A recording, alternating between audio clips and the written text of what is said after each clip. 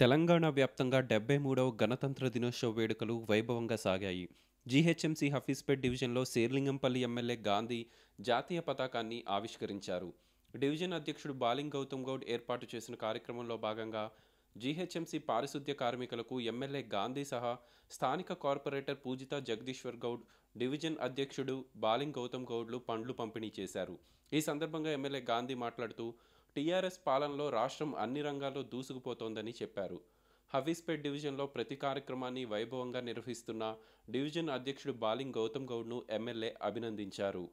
Division అధ్యక్షుడు గౌతమ్ గౌడ్ గారి ఆధ్వర్యంలో ఇక్కడ కార్యక్రమం రావడానికి చాలా సంతోషంగా అలాగే స్థానిక కార్పొరేటర్ సోదరి పూజితా జగదీష్ గౌడ్ గారు జగదీష్ గౌడ్ గారు సహచర నాయకులు కాలనీ మిత్రులు శ్రేయోభిలాషులు అందరూ కూడా ఈరోజు పన్నెండు డివిజన్లలో కూడా జెండాలు ఎగరేసుకోవడం జరిగింది.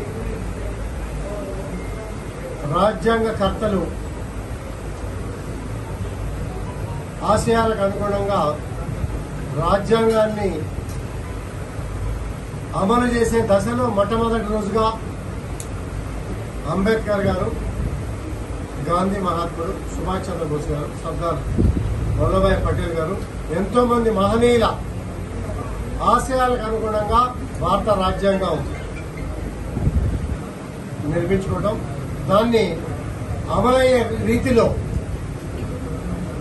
కార్యక్రమాల్ని తెలంగాణ రాష్ట్రం వచ్చినాక ముఖ్యమంత్రి గారు ప్రజల ఆశయాలకు అనుగుణంగా ప్రజల మనోభావాలకు అనుగుణంగా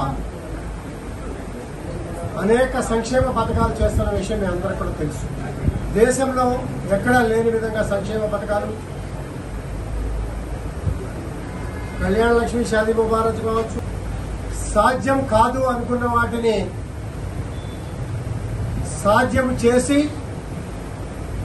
సక్సెస్ఫుల్ ముఖ్యమంత్రిగా అందరికీ ఆదర్శవంతమైనటువంటి ముఖ్యమంత్రిగా నిలబడ్డ ముఖ్యమంత్రి ఏకైక ముఖ్యమంత్రి.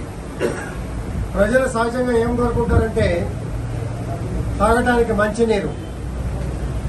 మిషన్ భగీరథ ద్వారా ఇంటింటికి మంచినీరు అందించినటువంటి ఒక హైదరాబాద్ నగరమే కాదు రాష్ట్ర వ్యాప్తంగా పల్లెకు పట్టణానికి తేడా లేకుండా అన్ని ప్రాంతాలకి మంచినీళ్ళు అందించినటువంటి ఘనత కేసీఆర్ గారు అన్న విషయం అందరికీ కూడా తెలుసు. ఇదే కాకుండా మరి మీ అందరికీ కూడా తెలుసు రైతు బంధు రైతు బీమా గతంలో టూ థౌజండ్ ఫోర్టీన్ బిఫోర్ ఇక్కడ ఉన్న అంతా ఉన్నారు. ఎప్పుడు కరెంట్ వచ్చేదో ఎప్పుడు పోయేదో ఎప్పుడు ఉంటుందో ఎప్పుడు ఉండదో తెలియని పరిస్థితి. ఆ పరిస్థితుల్లో గత ఆరు సంవత్సరాలుగా ఇరవై నాలుగు గంటల కరెంటు ఇంటి గృహ అవసరాలకే కాదు రైతులకు కూడా ఇరవై నాలుగు గంటల కరెంటు ఇచ్చి దేశానికి ఒక ఆదర్శంగా నిలబడినటువంటి రాష్ట్రం తెలంగాణ రాష్ట్రం దీనికి శిల్పి రూపకల్ప ముఖ్యమంత్రి గారిని చెప్పుకోవడంలో మాకు ఎటువంటి అని చెప్పే వారి రోగం చూస్తే బాధేసినప్పటికి కూడా మా రాష్ట్రంలో అమలు జరుగుతుందని చెప్పి గర్వపడ్డాం. మరి ఇటువంటి సందర్భాలు ఎన్నో ఉన్నాయి? చెప్పుకుంటూ పోతే మేము సాయంత్రం దాకా చెప్పొచ్చు. అభివృద్ధి ధ్యేయంగా మేము మా కార్పొరేటర్లు మా డివిజన్ అధ్యక్షులు మా సహచర నాయకులు అభివృద్ధి ధ్యేయంగా పోతా ఉన్నాం. ఇప్పటికే eighty eighty five percent reach అయ్యాం. ఈ పదిహేను పర్సెంట్ కూడా ఫిల్అప్ చేసి వంద పర్సెంట్ అభివృద్ధి ధ్యేయంగా మేము ముందుకు నడుస్తాం. ఈరోజు ప్రతి సంవత్సరం ఇక్కడ ఆనవాయితీగా ఇక్కడ జెండా ఎగరేసి పిల్లలకి పెన్సిల్ పుస్తకాలు అందజేసి అలాగే ఈరోజు పేదలకి పళ్ళు పంచి పెద్ద మనసుతో మన మిత్రుడు శ్రేయలాజీ గౌతమ్ గౌడ్ గారు స్థానిక కార్పొరేటర్ గారు మాదాపూర్ కార్పొరేటర్ గారు అందరి సమక్షంలో సహచర నాయకుల సమక్షంలో పండ్ల పంపిణీ చేసి ప్రజలంతా సుఖ సంతోషాలతో ఉండాలి. ఇలాంటి ఎన్నో డెబ్బై మూడు గణతంత్ర దినోత్సవాలు జరుపుకున్నాం.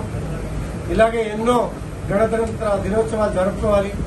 ప్రజలంతా సుఖ సంతోషాలతో ఉండాలని మంచి మనసుతో మంచి గొప్ప కార్యక్రమాలు చేస్తున్నందుకు గౌతమ్ గౌడ్ గారికి మా అందరి తరఫున ప్రత్యేక అభినందన శుభాకాంక్షలు తెలియజేసుకుంటూ ప్రజలందరికీ గణతంత్ర దినోత్సవ శుభాకాంక్షలు తెలియజేసుకుంటూ సెలవు